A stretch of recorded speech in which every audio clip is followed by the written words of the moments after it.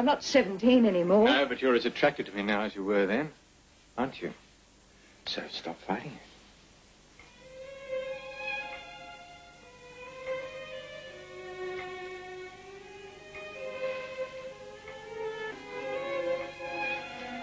I asked you to leave.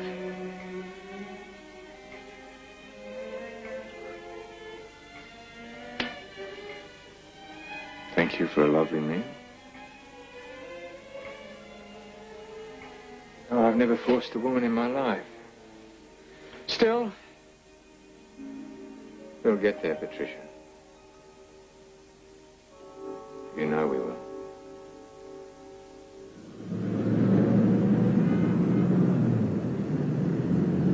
Yoo-hoo! Oh, hello, Rosie. Come on in. Hope I haven't kept you. The traffic was heavy. No worries, we're still packing. Lynn, Fiona. Oh, doesn't it look nice there? Oh, yes. Uh, Doug convinced me it was the best place to put it. Brightens the place up. oh, well, we'd better finish the packing. Don't want to miss the plane. Make yourself comfortable, Rosie. Won't be long. Come on into the kitchen. I'm just packing the cheeses. I'll check on Davy. Any news on Barbara yet? Before I left, she's going into surgery first up. Oh, It's going to be a long operation from the sound of it. Terrible. Two such happy people. Mm.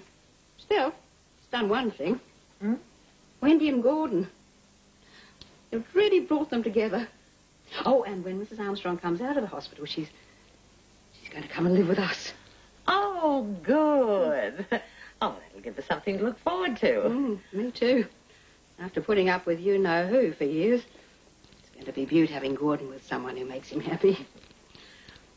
I hope it means that we've seen the back of Patricia for good. Where are you off to? Driving to Portsea. I think it's going to be 38. Can I explain this to you? Yeah. Another one of Paul's ideas. Bonus share issue. Not very many details. There's a few more pages on it somewhere there. I'll have to read it very carefully. Uh, I think it's about time to clip his wings. Don't know whether you'd have enough support yet. We'll see. Oh, and thank you for yesterday, darling. That was a big help. When do I get a chance to show what I can really do? Don't start on that again. I'm not in the mood this morning. I'll see, Wayne. Just don't push it. Okay. Catch you later. Uh, how are you off for money? It never goes astray. I'll take 50 out of my purse.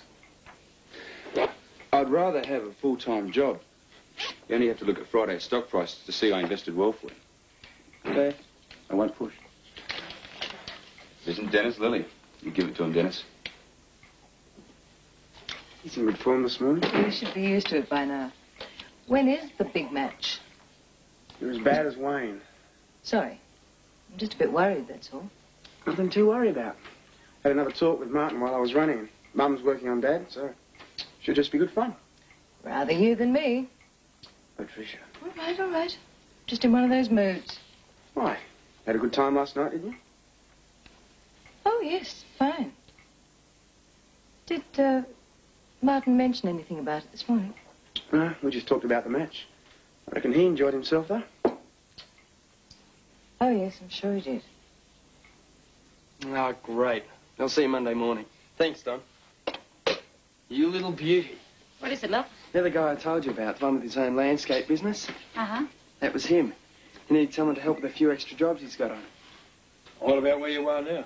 Oh, they'll be right. They can pick up workers just like that. This will be a lot more fun. How'd they find out where you live? He's mates with the boss at the lumber yard. He's going to fix it up so I don't have to give any notice, too. Good, eh? I think it's a waste of time, love. You'll get your results any day now, and then you'll be going into the bank. Oh, well, you never know. Uh, if this works out, I might stay with it. Well, it doesn't matter what I do, just as long as I enjoy it and I earn enough to support Lynn and Davy. Victor went to a lot of trouble with that bank job. Well, you never know what'll happen, do you? I might hate getting my hands dirty. Yeah, that'd be right. be sensible. There, love. Give your mother a hand to pack, huh? I'm going out to check the car. Do a bit of man's work. He's in a good mood. Must be looking forward to the game. Hmm. Must be. Wasn't such a good idea storing this under the house. well, as long as it isn't full of spiders. I didn't think of that. Clear. Have to clean it up. Oh, I was just about to wash the dishes with that. Better start a new one. This one's getting a bit high. Oh, yuck. That's all I needed. What's wrong? Oh, I'm feeling a bit seedy. It must have been that leftover tuna I ate last night. Must have been past it. Oh, have a drink of fizz. That might settle your stomach. Yeah. Oh, I'll get it. Okay.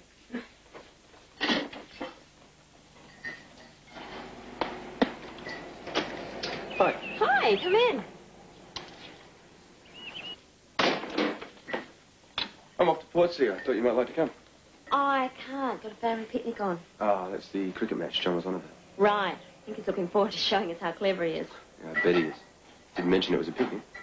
Family get together. Ah, I see. Would you like to come? There'll be plenty of food. Uh, uh, uh, no. I wouldn't really fit in, would I? Might as well push off. Just a tick. Had to go and get a few things for the picnic this morning. Got your present. Replace the one you lost. Thanks. Make sure I don't lose this one. Sorry I didn't have time to wrap it. Ah, it's great. I won't hold you up. Thanks again.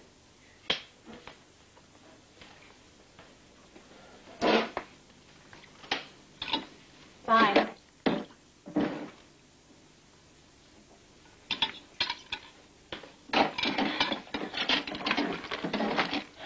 What's you? Wayne and I? Nothing. Why? The present. He's been good to me. It was just a way of saying thanks. Oh. He gets such a rotten deal from most people, I can't help feeling sorry for him. I think it was a bit more than that. Don't be silly. You've taken that fizzy drink yet? Got to show the fellas they haven't got the game all to themselves.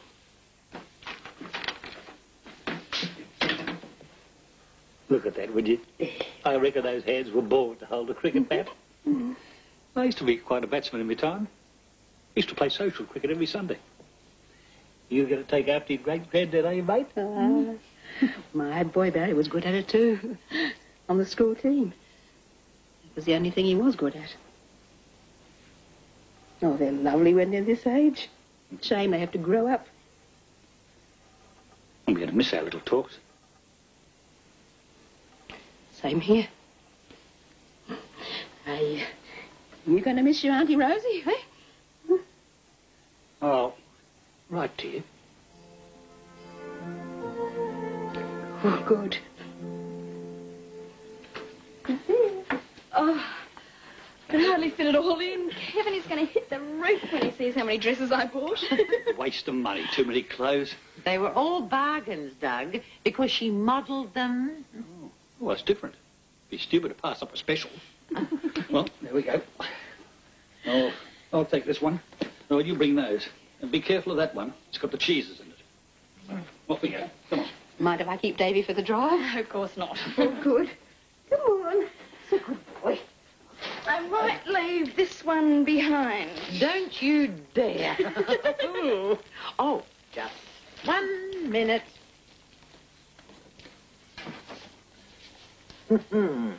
Almost back to normal. Okay, tell you what. You bring some beer, I'll bring some white wine. Mum's bringing fruit juice and soft stuff. Fine. Are you nearly ready? Yeah. Oh, Angie's not feeling the best. She's not too sure whether she wants to go or not. Oh, well, what's wrong with her? Well, she's just feeling a bit seedy. I think it must be something she ate. Oh, will you hold on for a minute? Angela's thinking of not coming. Why? Susan said she's not feeling well. Let me talk to her. John wants to talk to her. Angie! John. Hi. You're not really thinking of dipping out, are you? Well, I'm tempted. If you're not there, I'll, I'll come round and get you. You can't be that sick. Well, I'll see how I go. No way. Be there, okay? You finished with Susan? Yeah. Okay, I'll see you both at the Oval. Bye. Bye.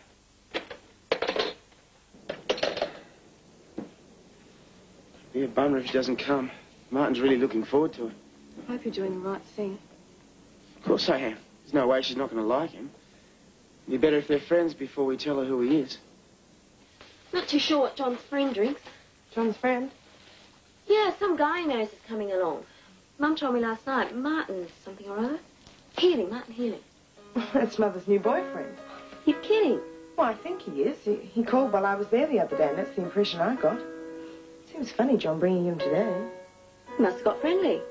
Can't wait to see him, see what your mum's taste is like. It still seems odd.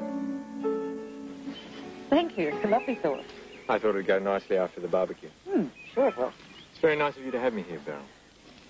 Well, here's to a day of good sport. eh? Yeah. How about helping us set up the pitch, son? Yeah, sure. Give us a hand. Ah, no, you go with your dad. I'll get to know Beryl. That ginger thing's a bit punchy, if you ask me. How'd you like a box of wickets on your head? Come on. Don't expect miracles with David, Mr. Healy. Martin, please. Martin. He's a very proud man, and finding out about John and Andrew has really rocked him. I can understand that. It's a fairly bizarre situation.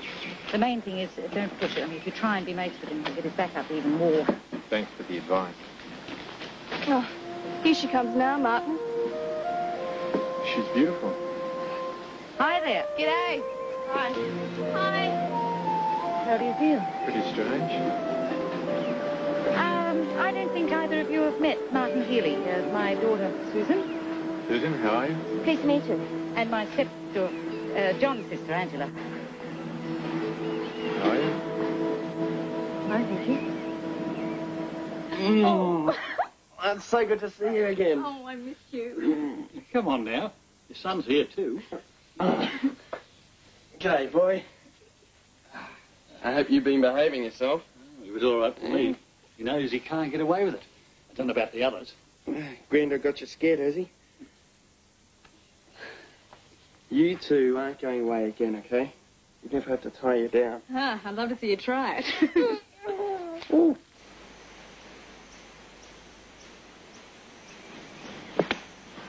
How's that? You see that, girl?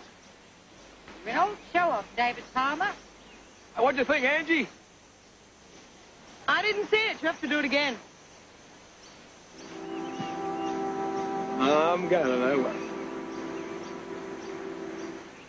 Afternoon. When you've got something to celebrate, you drink champagne. A hmm. very wise old person said that once. Who? Me. there you go.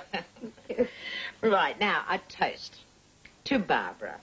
One of the nicest ladies around. Yeah, yeah. Mm. Mm. Oh, you should have heard Gordon's voice on the phone. He was just about crying with relief. Oh, he's been with her all morning, has Oh, he? yes, um, he and Wendy. Makes me feel guilty. Oh, there was nothing you could have done. You were better off here with me. Best part about picnics, no washing up. Hmm. You okay? Hmm? You're not feeling sick again, are you? Oh, no, no. I'm not too bad. Soon as I clean this mess up. No, it's okay. It's great to see Kevin and Lynn so happy, isn't it? Yeah, it's right. What's wrong with you? You're only half here. Something funny's going on. With that Martin guy. First him seeing Mother, turning up here today, and then Granddad recognising him when he arrived. Obviously a friend from way back, or at least someone they've known for a long time. What did your mum say about him? Well, she just said he was a business associate. I thought she was being shy, but she could have been edgy. You read too many mystery books.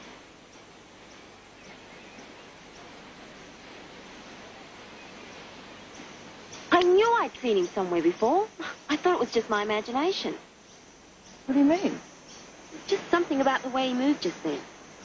Your mum's got a photo of him when he was young, in an Air Force uniform. Doesn't make sense. She was looking at the photo one day. I got the feeling she hated him. I gave it to John. Why don't you ask him about it? Oh, I don't. I do know one thing, though. If he doesn't stop looking at me, he's going to get a face full of pads. You look hot. Oh, very perceptive. You must have read my mind. How's the beach? Good till the sea breeze hit. I've got more sand on my nose than anything else. Uh, we could do with the sea breeze here. Been out? No, I spent three or four hours on those papers. And? Oh, I wasn't impressed one little bit.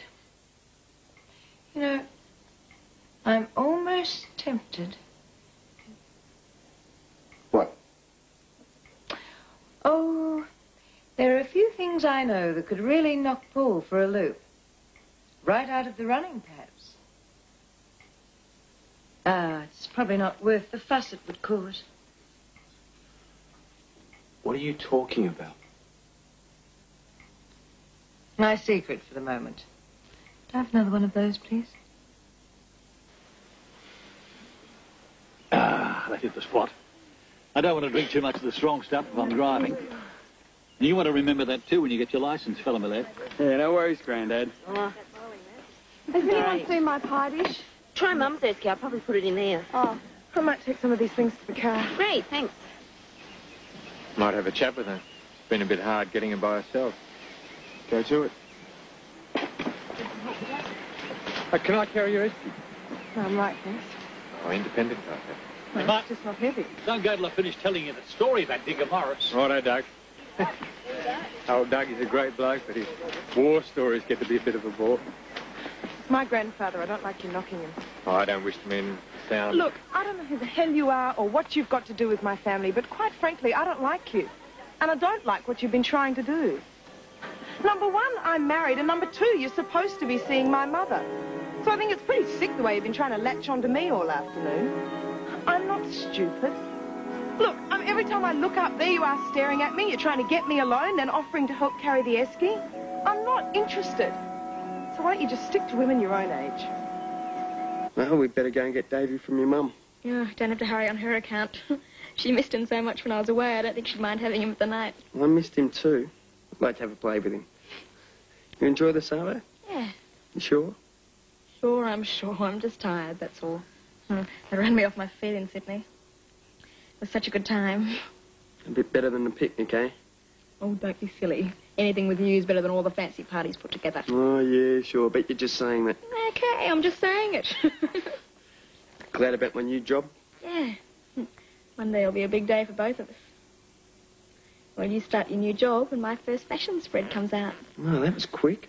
Not the Sydney stuff, silly. The stuff I did the night of John and Angela's party. Hmm, Bet the girls from school are going to be jealous. I remember when they thought I'd end up as nothing but a boring housewife. It'll really show them. Well, who cares what they think? As long as you're happy. Still, it'd be nice to see what they think. Come on, let's go and get Davy. Right, I'll just get his rug. We're just going next door to pick up Davy. Oh, beaut. Be nice spending some time with the little fella. You leave him and Kevin to have some time together. You had two weeks with him up in Sydney. He likes being with me. You can tell the way his little eyes light up when he sees me. That's because he couldn't believe him. Very funny. See you soon. What are they laughing about? Your dad was pulling your granddad's leg. you know what? What? I missed all this. Even if it is just being a boring housewife? Hmm. That Martin Hill, he's not a bad bloke. I remember him on the footy field. Could he mark the little fella? He wasn't too good to serve, eh? Cricket mustn't be his game. Still, he did get stuck into it. it wasn't a bad sort of a catch he took towards the end there. Luke, if you ask me. There you go, Dad. How's that out? That was Beaut Tucker Beryl. You're almost as good as Rosie in that department. Uh, give me that esky for a minute, Dan. No, it's not that.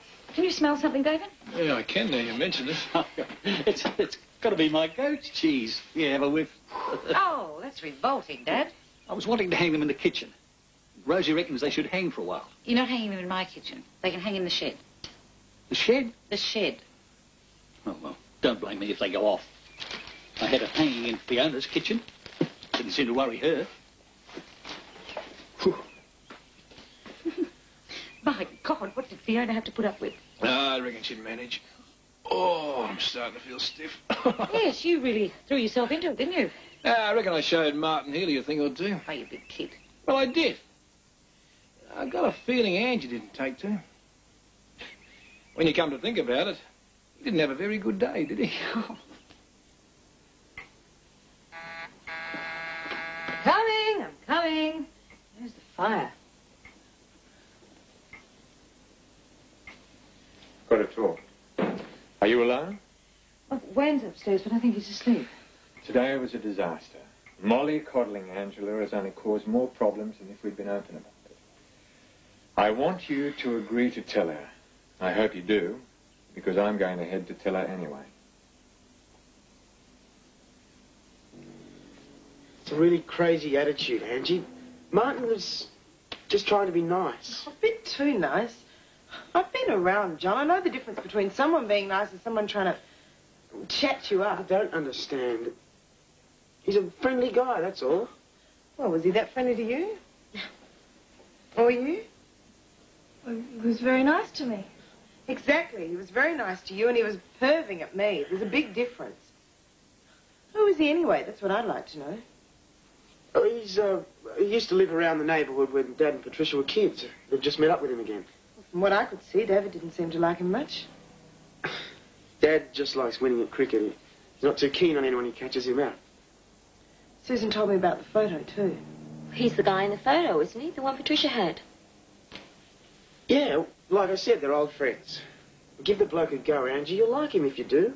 I doubt it. If you and Mother want to be friendly with him, go ahead. But count me out.